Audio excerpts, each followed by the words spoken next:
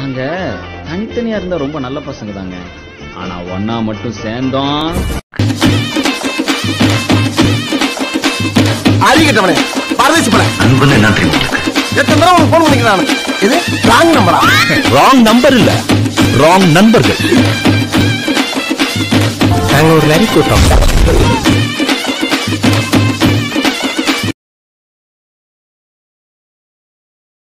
Share chat.